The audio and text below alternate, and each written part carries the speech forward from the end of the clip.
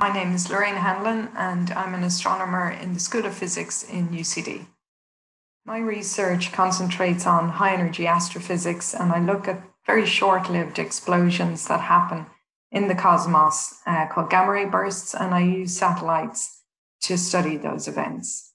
For the last three years, uh, my team has been building Ireland's first satellite called EIRSAT-1 in UCD, and this funding will allow us to really develop that expertise uh, in UCD and actually in Ireland for the first time. Um, and what that means is that we become a spacefaring nation for the first time, which is really exciting. This research project actually brings together scientists and engineers and industry uh, in a great way to work collaboratively together and I think will have a big impact on all those dimensions the engineering aspects, the science aspects, and also the potential industrial spin offs for Irish space companies.